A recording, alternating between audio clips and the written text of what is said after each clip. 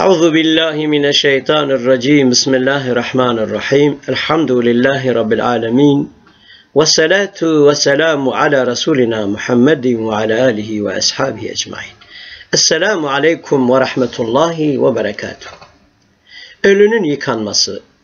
Ölünün yıkanması tektir. Yani üç veya beş sefer yıkamak gibi ilk yıkanışı sidir denilen bir nevi temizlik malzemesiyle yıkanılacak. Son yıkanması kafur denilen hoş kokulu bitki suya katılarak yıkanılacak.